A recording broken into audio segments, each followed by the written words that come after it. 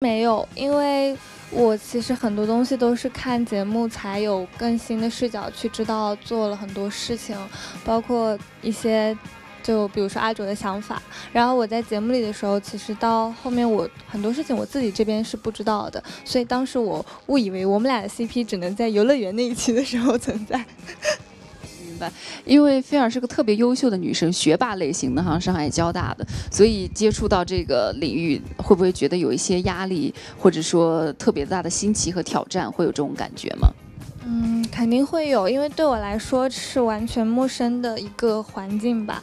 然后就这段时间，刚刚大家都说了，就是接触到有好的声音、坏的声音。然后我以前其实是一个挺挺直的人，然后我很多情绪我都会挂在脸上，然后包括说话的时候也会觉得，如果我当时怎么想的，我就要怎么说出来。但是经过这个节目之后，包括其实认识大家之后，像牙牙，我就觉得，我觉得我以后可以再成熟一点。谢谢。然后还有很多人也很关心一个问题啊，就是 菲儿和许杰维在线下之后还有什么发展吗？可以跟我们分享一下吗？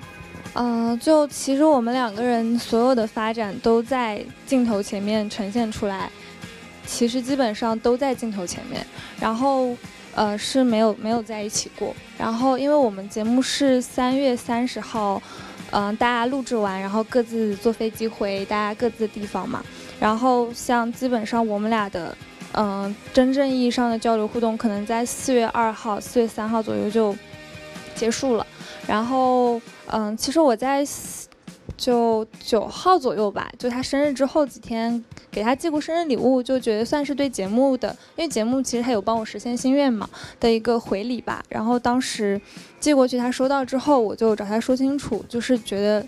我们俩其实到此为止，我觉得也没有什么问题。但是我希望有一个明确的一个嗯说法，所以当时说清楚之后，其实基本上就没有怎么联络过了。嗯，明白，谢谢谢谢。那生日礼物多重要，赶紧送出去。然后，所以今天阿卓要不要现场来隔空回应一下节目当中菲儿给你的那个留言？哪一条留言？就刚刚放的那个。啊，刚哦，刚刚放的那一条。其其实我我以为的留言就是，嗯，第二天那个游乐场给我的留言，然后还有一个就是第三天的留言，然后其实我当时游乐场那一天真的很开心，真的，我和娥姐，然后还有 娥姐还有马波波三个人，其实是我过得最开心、最放松的一天。就是没有那么多压力，然后就是玩得很开心。然后菲尔刚刚跟我说，觉得我是一个很真诚的人。嗯，其实我觉得，就是我真诚的同时，其实会带有一些犹豫，还有一些纠结。